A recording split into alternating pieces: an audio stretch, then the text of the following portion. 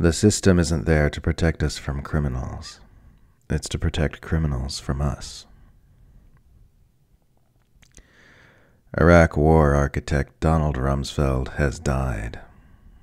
Not in a prison cell in The Hague, not murdered by bombs or bullets, but peacefully in his home, surrounded by loved ones, a week and a half shy of his 89th birthday. The imperial media are giving their fallen master a king's tribute, with headlines describing the psychopathic war criminal as a cunning leader, a man of honor and conviction, or simply as former defense secretary at helm of Iraq, comma, Afghanistan wars. The cancerous Washington Post, who just the other day mocked the life of the late anti war hero Mike Gravel with an obituary branding him the gadfly senator from Alaska with a flair for the theatrical, describes the child killer Rumsfeld as the influential but controversial Bush defense secretary in its headline about his death. The New York Times wasn't much better. Take the headline Mike Gravel, unconventional two term Alaska senator, dies at 91.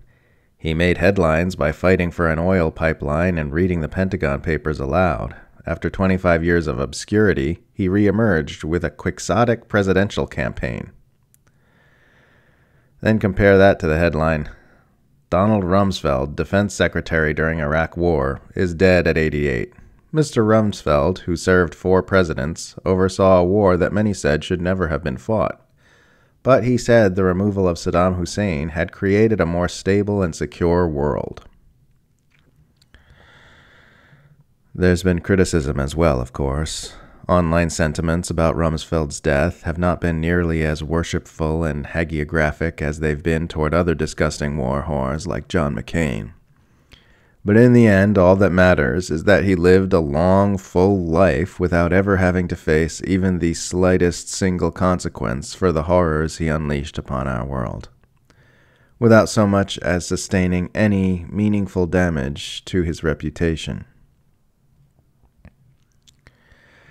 This, despite the fact that it's been public knowledge for years that Rumsfeld began orchestrating the unforgivable invasion of Iraq within hours of the 9 11 attacks and told numerous lies in order to set that invasion into motion.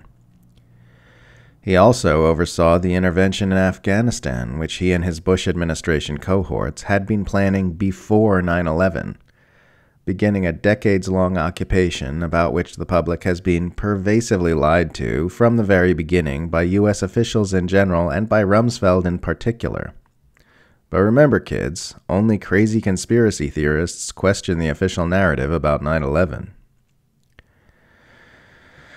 When we are little, we are taught that we live in a nation of laws, where bad guys are thrown in prison by the good guys who are in charge of things. Because our mental programming continues for the rest of our lives in the form of mass scale propaganda designed to manufacture consent for the status quo, most of us tend to hold on to this childish model of the world to some extent throughout adulthood. In reality, exactly 0% of the world's worst people are in prison. But some of the best people are. The fact that Donald Rumsfeld lived a long life of freedom while Julian Assange wastes away in Belmarsh prison proves the world doesn't work the way we were taught in school. The very worst bad guys are not put in prison by the good guys who run things, because the very worst bad guys are the ones who run things. The system isn't designed to protect us from society's worst. It's designed to protect society's worst from us. It's designed to keep us turning the gears of industry without looking around and noticing we're all getting fucked in the ass by an alliance of plutocrats and security state insiders who only care about power and money. It's designed to keep us too busy and propagandized to use the power of our numbers to take back what the bastards have stolen from us and to make sure there's enough guns on their side to kill us all dead if we try. Donald Rumsfeld was all the worst things about our world.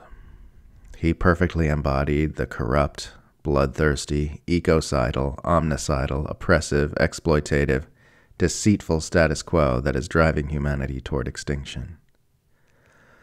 The U.S. centralized empire is Donald Rumsfeld. It might as well have his face and his name. Don't let his passing fool you. Donald Rumsfeld is dead, but he is also as alive as ever.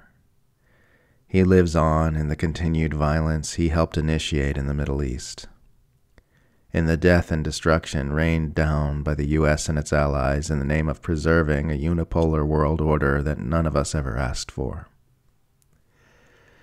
In the dying gasps of starving children under imperial blockades in Yemen and Venezuela In the thousands of U.S. military bases encircling our planet like a noose, in the warships and missiles pivoting toward China in preparation for a long anticipated confrontation which should terrify us all.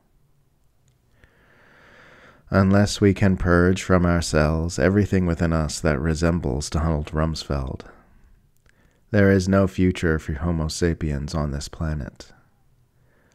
We must evolve beyond everything he stood for, as individuals, as a society, and as a species, and move into a peaceful and collaborative relationship with each other and with our ecosystem.